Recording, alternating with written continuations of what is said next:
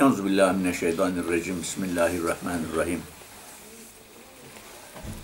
Allah ismini zikredenler pür nur olur. Biliyorsunuz zikir fikirdir. Fikir zikirdir. Onun için ister zikir olsun, ister fikir olsun, ister şükür olsun Allah'ın mukayyet olan Adem ve alemde üç tecellisinin ifadesidir. Onun için zikir yaparsanız zikirdeki özellikte Z harfi Allah'ın zatını remzeder. K harfi kemalattır. R harfi Cenab-ı Allah'ın iki rahmet ilahisi vardır. Biri rahmaniyet rahmeti, birisi rahimiyet rahmeti. Zikir. Dikkat ederseniz iki rahmetin kemalatı zatınızın olursa işte Cenab-ı Hakk'ın zatına erişmiş olursunuz. Sizdeki zat onun zat olur. Sizde cüz, onun zatta küldür. Zat-ı hakta yok olanlar hep huzur bulur. Demek ki kişi zat-ı hakta yok olursa, yani fena fillah olursa, kendisine nispet ettiği varlığı fenaya fal, fenaya sıfat, fenaya zat yaparak ki bir kamilden tahsil edilir bu. Bu kamilden, tahsilden sonra elde edilen bir olaydır. Bu tahsili yaptıktan sonra artık siz ne yaparsınız? Zatta hakta yok olursunuz. Zat hakka yok olduğunuz zaman onlar da hep huzur bulur. Artık kendi varlığı olmadığı için, kendisindeki varlık Cenab-ı Hakk'ın varlığı olduğu için daima huzurda bulunur ve huzur bulur. Huzurda olması demek, kendisinde onun kendisini görmesi demektir. Biraz evvel söylemiş olduğum kuluna kaf e, en yakın olduğu an hali tecelli eder. Kulumu ben şah damarından daha yakınım diyor ya, şah damarı kendisinin varlığıdır. Kendisini görmez, onu görmez olur artık. O demde. Ama kendisi bittikten sonra, kendisinin yok olduktan sonra olan bir olaydır bu. Zatta yok olması lazım bir kere. Fenafillah olması lazım. Yani mutu kable ente mutu sırrına ermesi lazım. Yoksa olmaz. İşte onlar o zaman huzur bulur. Her nefes zevk edenler daim nurla dolar. Nurla durur.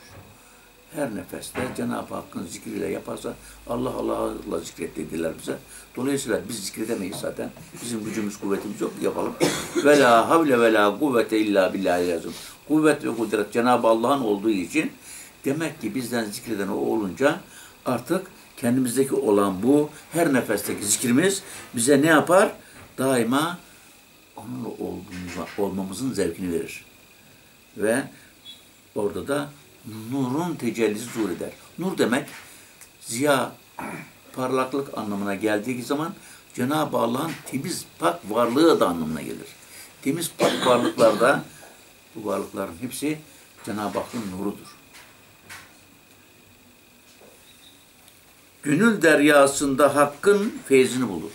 Demek ki gönül demek kişinin kendi gönlüne indiği zaman Cenab-ı Hakk'ın tecelli aynası. Kendi gönlünüz bu kalp değildir. Kalp bir et parçasına ibarettir.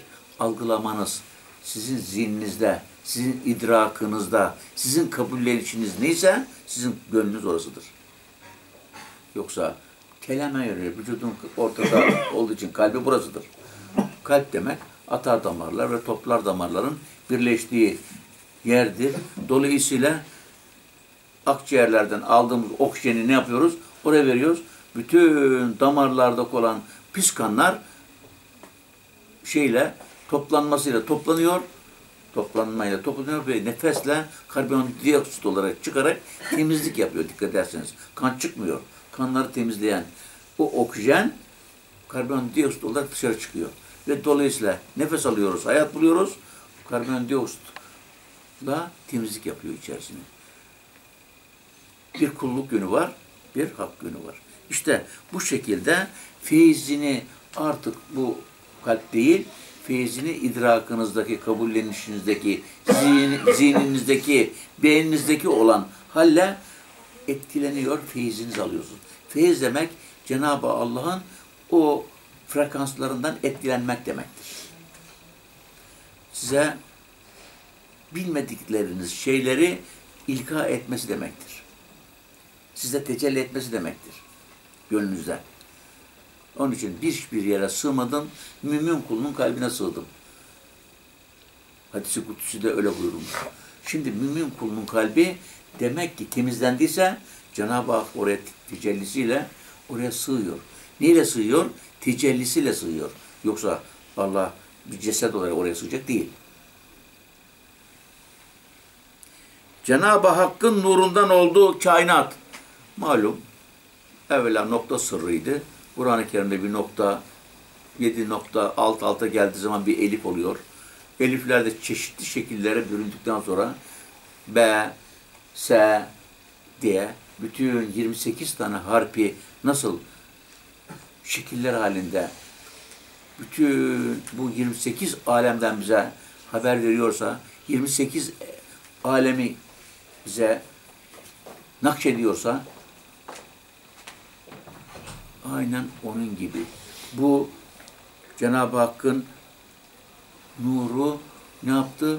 Elif oldu. Elif'ten Kur'an-ı Kerim'in yekünü 6666 ayet-i kerime bu harflerle o noktanın elif haline dönüştü. Elif'in de çeşitli şekillere bürünmek suretiyle Kur'an-ı Kerim'in 28 harfi meydana getirdi. 28 harfi de belirli yerlerde kullanmak suretiyle 6666 ayet-i kerimin Kur'an'da nasıl yekünü ortaya çıktıysa işte nokta sırrında da kişi Cenab-ı Allah evvela uluyetine tecelli etti. Oradan rubiyetine, kulluğuna tecelli etti. Rubiyetinden ervah alem dediğimiz ruhlar alemine tecelli etti. Ruhlar aleminden de misal alemine tecelli etti. Misal aleminden de bu kainat dediğimiz bu aleme tecelli etmek suretiyle bütün cemaat, nebadat, hayvanat, insanlarda kendisini şer etti. Kainat dediğimiz nedir? Kainat dediğimiz 18 bin alem diye bildiğimiz kesret alemidir. Burada kendisini gösterdi. Zerreden küreye kadar her varlıkta o var. Bütün varlıklar onunla kayım. Ama o bu varlıklarla kayım değil. Onun için kainatta o nokta sırrından kainatta kendisini şer etti. Açık açıktı. Bir misal verecek olursak bir çekirdeğin ağacın gövdesinde, dallarında, yapraklarında, meyvasında kendisini ilan ettiği gibi. Anlaşılsın için söylüyorum. İşte bu nurda hem ilim var, hem şuhut, hem hayat. İlim bilmektir. Allah ilim sahibidir. Bilene alim denir. Allah ilim sahibi, bilene alim denir. Onda ilim var. Bu zevkte. Ondan sonra orada ne var? Şuhut var. Şuhut ne demek? Görmek demek. Görmekte kalbin basiretiyle görme halidir. Orada bir de hayat var. Hayat dediğimiz enerji. Hayat. Yani ruh var. Her varlıkta var. Yani kendisini şer etmiş. Tende ve canda nurdur. Kainat bir kitap. Bir tenimiz var. Bir canımız var. Bir de cananımız var. Ten dediğimiz topraktan gelip toprağa gidecek olan unsuriyetimizdir. Et ve kemikten meydana gelen bu varlığımız tenimizdir. Can ise bu et ve kemikten meydana gelen fiziksel bedenimizi ayakta tutan işte o enerji, o hayat dediğimizdir. Ruh. Ayak tutan odur. Burada hem ten var hem can var. Burada hem can, ten var hem can var. Nurdur bunlar. Kainat ise bunlarla donatılmış bir kitaptır. Kitapta bütün mevzular var ya yazılır. Aynı onun gibi. Kainat da bir kitaptır. Cemaat diyoruz, nebadat, hayvanat, insanat diyoruz. Neba, cemadatta baktığımız zaman namütena madenler var. Nebadat dediğimiz zaman namütenayı ismini bilmediğimiz meyveler veya meyvasız nebadat var. Hayvan dediğimiz zaman namütena isimlerini bilemeyeceğimiz kadar çok hayvanat cinsleri var. İşte bunlar bu kitapta yazılmış, bu kitapta bu kainatı meydana getirmiş. Dikkat ederseniz noktanın kitap haline kainat olarak şer edilmesinin izahını yapılmış. Siretinden nuzul etti gönle bu hitap. Demek ki insanoğlunun bir sureti var, bir de sireti var. Sireti zat ile sıfatın hak oluşudur. Zat ile sıfatın hak oluşudur. Sende zatın var mı? Var. Sıfatların var mı? Sıfatların da var. Bu hak. Peki nuzul etmiş. Nereye etmiş? Halka. Senin esman var mı? Var. Fiilinde var mı? O fiili neyle yapıyorsun? Bu enerjiyle yapıyorsun. İşte bu da halk yönü. Siret, suret diyoruz ona biz. O bakımdan buradaki siretinden nuzul etti. Nuzul etti demek. Oraya tecelli etti demek. Oradan açığa çıktı demek. Nuzul etti, gönle bu hitap. Yani gönülde tecelli edince bu bilindi. Onun için ben anlattığım zaman benim heybemde vardı bunları anlatmıyorum size. Herhangi bir mevzuya denildiği zaman ne anlatıyorum? Ben gönlümde tecelli ediyor. O tecelliye göre sizlere hitap ediyor. Siz de bunlardan irşad oluyorsunuz. Ben de irşad oluyor. Çünkü ben de bilmiyorum ki. Demek ki ilim kişilere ait değil. İlim, irfaniyet ve kemalat Cenab-ı Hakk'a ait. Sen de tecelli ederse sende müsaitlik vardı öyle tecelli ediyor. Tecelli etmiyorsa sende müsaitsizlik olduğu için tecelli etmiyor. Anlatabiliyor muyum? İşte o zaman gönüle hitap eder.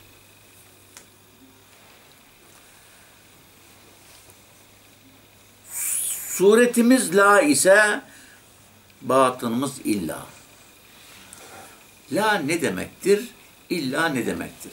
La yok demektir. Kulluktur. Kul yok. Kulun varlığı yok. İlla ise illa Allah'ın varlığı demektir. Dikkat ederseniz bu varlıkların kendilerine ait bu vücutlarımızın, bu varlığımız yok. Bu varlıklar Cenab-ı Hakk'ın varlıkları. Bu mazhardan seni görüyorsa illa olan bu varlık sendeki olan illa görüyor. La illaha göremez. Çünkü la yok demek, illa var demek. Var olan o. Kulun varlığı yok. Varlık Cenab-ı Hakk'ın varlığı. Onun için suretimiz bizim la'dır, siretimiz illadır. İlla olan, biraz evvel de söyledim, zatla sıfata denir, hak onundur. Esma ve fiil ise halktır, o. La ile illadan geçenler buldu Mevla. La'dan geç, kulluktan geç. Peki illadan geç. Yani ikilikle görüntüden de geç diyor. Ben seni seyrediyorum, sendeki varlık onun varlığı. E sen de beni seyrediyorsun, bendeki varlık da onun varlığı. Deme buradan da geç. E ne diyeceğiz? Kendisinden başkası kalmasın. Ben seni görüyorum bak. Bir de sen beni görüyorsun. Bir sen var bir de ben varım demek ki. Bu ikilik. Onun için namaza durduğunuz zaman niyet ettim şu vaktin namazını Allah'a Ekber deyin. Niyet ettim Allah rızası için şu vaktin namazını demeyin. Bu ikilik ifadesidir.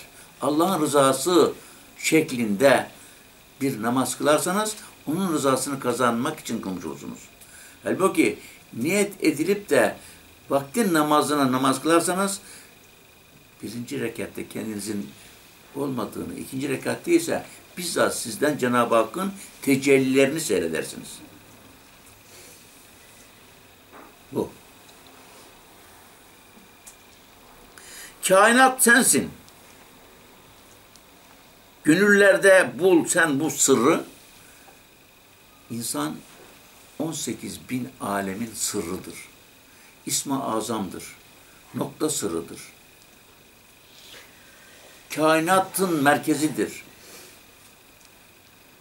Merkez üstüdür insanoğlu. Aslında bu sendeki sır açılsa idrakındaki, kemalatındaki bütün Cenab-ı Hakk'ın bütün kainattaki yönlerini görürsünüz. Kainatta olan her şey insanda vardır. Ama insanda olan her şey kainatta yoktur. Çünkü en üstün bir zekanızın, idrakınızın kainatta yeri var mıdır? İnsanda var. Bak sizde var ama orada yok. Ama orada olan her şey sizde vardır. O, o bakımdan siz biz kainatsınız. Bir alemi kübrasınız. Ama her insan mı? Hayır. Her insan değil. İnsanlığını bulan, kemalata gelmiş olan, bu sırlara vakıf olan kişidir. Ademiyetini bulmuş olan kişidir. canlı, Kur'an veyahut da kainat. Bunları bilsen sen bir sırsın. Bu kainatın sırrısın. Surette kul olsan da siret hakkın sırrı. Her ne kadar kul surette kul isen de sirette hakkın sırrısın. Çünkü o Cenab-ı Allah'ın zat ve sıfatı senin masarından tecelli ediyor. Sendeki o zaman bu tecelli Cenab-ı Hakk'ın sırrı, sırrısın. Siret derya, suret perde oldu kendine. Demek ki siret derya, umman. Su, şey suret ise perde oldu. Sendeki sene perdelik yapıyor bak dikkat ederseniz. Bir sen var bir de senden içeride. Senden içerideki aslında siretindir senin o deryadır. O ummandır. Ama biz de senin beşret yönü var, suret yönü var. O suretin o sireti görmene engel oluyor senin. İşte gördün mü? Kendine perde oluyorsun. En büyük perde kişinin kendi benliğidir. Kişinin kendi varlığıdır. Kendi varlığını atmadıktan sonra kendisindeki olan o sirete geçemez. Kendine hicap perde oldun. Hicabı açarsan çare olur derdine. Hicap biliyorsunuz zulmani hicaplar üç türlüdür. Bir, efal hicabı. İki, sıfat hicabı. Üç, zat hicabı. Zatınız benim zatım diyor. Sıfatlarınız ben görüyorum, ben duyuyorum, ben konuşuyorum diyor. Fiilleriniz de ben geldim, ben gittim, ben oturdum, ben kalktım, ben dinledim diyor. İşte bunlar zulmani hicaplardır. Bu benlik olan zulmani hicapları yok ederseniz, yok etmek, ifna ederseniz yani, işte o zaman ancaksın hakkın şişesine yetişirsiniz. Buradaki hicap açarsan o zaman sizin derdinize derman olur. Derdiniz nedir? Derdiniz hakkı tanımak, hakka hak olmak değil miydi? Kendi insan aslınızı öğrenmek değil miydi? Kendi insanınız aslınızı öğrenirken sizin varlığınız yokmuş. Aslında sizdeki varlık Cenab-ı Hakk'ın varlığıymış. Olduğunu öğrendiniz. O zaman artık bendeki varlıkta hakkın varlığı, sendeki olan varlıkta hakkın varlığı, herkesteki hakkın varlığı ise o zaman birbirimize kötülük yapmaya, birbirimize yan gözle bakmaya veya birbirimize zarar vermemiz mümkün müdür? Bak adalet kendiliğinden oturur. Aa şunu şu kadar şöyle yapacaksın, şu kanunu uygulayacaksın, bu ayeti uygulayacaksın. Derdi bitti bak. Uzak yollardan gitmek değil. Derhal otomatikmen kendisindeki varlığın, hakkın varlığı olduğunu bilse bir insan, herkesin varlığın da hakkın varlığıyla var olduğunu bilecek. Ondan sonra asla ve asla başkalarına kötülük yapamayacak hale gelecek. Mesela bu. İşte onun için buradaki çare olur derdine, derdin biter artık. Derdin senin ikilikti, kurtulmaktı, azaptan, stresten, üzüntüden, kederden kurtulmak, Cenab-ı Hakk'ı tanımak idi. Bunların hepsi halloluyor. Derdi bunlardı. Derdin kendisindeki olan aslinin bilinmeyişiydi. Bildin. Bilince de işte bu varlığın, hakkın varlığı olduğunu bilirsen derdine derman oldu, çare oldu. Demek ki icapları açmadan olmuyor bu iş. Bu tenden kurtulunca canda canan bulur. Demek ki tenden kurtuldun, kendi nisbiyetlerinden, kendi varlığından kurtuldun, candaki cananı görmeye başlarsın. Çünkü can bir enerjidir. Seni de remzeder ama senin gözünden görüyor, kulağından duyuyor, dilinden konuşuyor. İşte böylece canan sıfatların yekününe denir. O zaman benden gören de oysa, benden duyan da oysa, benden konuşan da oysa artık bütün benim gözüm harama bakamaz. Kulak gıybet dinleyemez. Dil yalan söyleyemeyecek hale gelir. Gördünüz mü? Hemen derhal ki otomatikman huzura veriyor. Yani böylece canan buldu. Cananda cemalullah seyredilir. Cananda sendeki senle, bendeki ben tatlı tatlı konuşur. Hakta konuşması canandadır. Cemalullah'ı seyretmesi canandadır. Canda değildir. Tende tavsilat vardır. ilmellik vardır. Canda aynarlık vardır. Şuhut vardır. Cananda ise hakta hak olma vardır. Nefse arif olmadan hak asla bilinmez. Men arefe nefsehu fakat arefe rabbehu. Nefsini bilen Rabbini bilir. Nefsine arif olursanız Rabbinizi bilirsiniz. Yani sizin varlığınızın olmadığını bildiğiniz andan itibaren Rabbinizin varlığı olduğunu ortaya çıkarsınız. İşte bu buna arif değilseniz siz haklı asla bilemezsiniz. Yani sizdeki hak olan siretinizi tanımanız mümkün değildir. Gönülde aşk olandan sırrı zat bulunmaz. Demek ki gönülde aşk olmamışsa, aşık değilseniz, aşkta üç harf, beş nokta vardır. Gafta, şinde, aşk. Dikkat ederseniz, elif, şey, efali, sıfatı, zatı, üç harfin manası budur. Aşk kelimesi. A, şeke. Ondan sonra gaftaki şunda üç harf nokta vardır. Bu da bir kişinin beşinci mertebe olan Hazret mertebesinde Muhammed'ini bulmasıdır. Demek ki Cenab-ı Allah kemalatını ancaksın Muhammed'den gösteriyor. Muhammed olmayan bir kişi nakıstan kurtulmuş değil. Cenab-ı Hakk'a muhatap olacaksanız, Cenab-ı Hak sizin hitabını, Cenab-ı Cenab Hakk'ın hitaplarını duymak istiyorsanız evvela Muhammedliğinizi bulun. Onun için bizlerin gönlünde Muhammed hapis. Bunu açığa çıkaracağız. Bu hapisten kurtulduğumuz zaman gözümüzden hakkı görmek Muhammediliktir. Kulağımızdan hakkı duymak Muhammediliktir. Dilimizden hakkı konuşmak Muhammediliktir. Çünkü kemalat sıfatlar ancaksın. Göz ne için yaratıldı? Harama baksın diye yaratmadı Allah gözü. Hakkı görsün diye yarattı. Kulak aynı şekilde hakkı duysun diye. Bir hakkı konuşsun diye yarattı. Sen bunları yapmamışsan Muhammedilik hala hapistedir. Hapiste olan o Muhammedi açığa çıkarmadıktan sonra Kur'an okusan Kur'an'a Allah'a muhatap olamazsın. Ondan sonra namaz kılsan Rabbinizle konuşamazsınız. Namaz Rabbi ile konuşmak da insanın. Konuşamazsınız. Yeter ki bu icabı açarsanız. Bu icabı açarsanız o zaman konuşursunuz.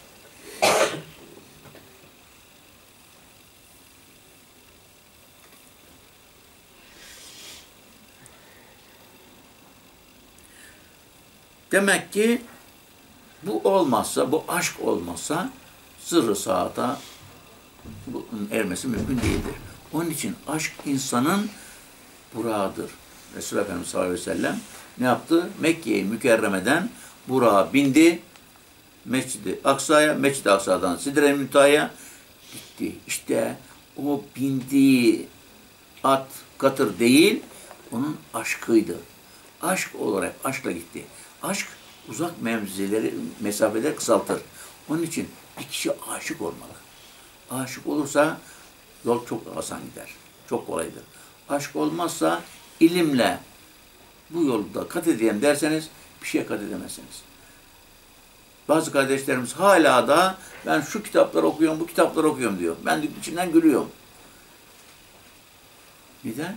Satırlarla bir yere varılmaz. Satırlarla bir yere varılamaz. Onun için aşk olun, kısa mevzuları, aşkın sevgisi kişi uzak, hemen derhal menzile vardırır. Anlatılan çok teferruatları, fıkıh meseleleri bilmeyebilirsiniz. Allah'ın emirler, şunlar, şunlar, şunlar, şunlar Allah'ın emirleridir. Şunlar, şunlar, şunlar, şunlar. Bin ayet emirler, bin, iki bin ayet ettiği şeylerdir. Bunları bilmeniz gerekmez. Zahirdeki ulemalarımız biliyor mu? Biliyor mu? İlahiyattekiler okuyorlar bunları. Peki, kıssalar bin ayet, örnekler bin ayet, tarihçe bin ayet, altı bin ayet. 500 ayet emir ve yasaklar, şey, haram ve helallar, 6500 ayet. 100 ayet ibadet, 6600 ayet. 66 ayette nesille ilgili, nasıl kadınlarla ilgili, nisa ile ilgili. Nisa, kadın demek. İkiliklik olan kişilerde nisa denir. Onun için 6666 ayeti kerimeyi teker teker şu da şu ayette şunu diyor bu ayette bunu. Bu kadar bilmenize gerek yok. Neyi bileceksiniz? İşte bileceğiniz tek şey aşkınız olursa kendinize nispet ettiğiniz bu varlıktan bu varlığın olmadığını, sizdeki varlığın Cenab-ı Hakk'ın varlığı olduğunu öğrenir. Hemen gönlünüze inersiniz. Gönlündeki tecellilerle Cenab-ı Hak'la hemen derhal irtibat kurarsınız. Hakkın hakla konuşması gönülden tecellilerle konuşmaktadır aynı zamanda. O sendeki varlığın da hakkın varlığı, bendeki o varlığın da hakkın varlığı olduğu zaman senle benim konuşmak hakla konuşmaktır ama bu afaktadır. Enfusta ise kişinin kendisiyle kendisine konuşmasıdır. Hakla hakla konuşmak. Kendi cemallarını seyretmesi, başkalarının cemallarını seyretmesi dediğim gibi siret yönüne vakifiyetle mümkündür. İşte bu sırrı o zatı bulunmaz. Ahmet aşkla inlersen derdin olur derman. Demek ki aşkla inleyenlerinmiş derdidir. Mısır Hazretleri de, Mısır Niyaz Hazretleri öyle demiyor mu? Derman arardım derdime, derdim bana derman imiş. Derman, derdi varmış. Nedir derdi? Allah'ı bilmek, kendisindeki Cenab-ı Hakk'ı tanımak, kendi insanı hastayısını öğrenmek. Anlamış ki derdi ona derman imiş. Dert derman olur mu? Olur. Nasıl olur? İşte aşk olursa olur. Aşk olursa kendisinden kendisine seferi idrak eder de oluverir. Derdin olur derman. Gönüllerin anahtarı aşktır bilesin. Demek ki gönüllerin bütün ilacı neymiş? Dermanı neymiş? Aşkmış. Aşk olanlar vuslat alıyorlar. Aşk olmayanlar vuslat alamıyorlar. Dikkat ederseniz bu insanın sırrı ilahisi burada demek ki insan anlatmış. İnsan yeryüzünde bir halife, nokta sırrı bunu çeşitli yönleriyle tecelli nispetinde açılmış canlı bir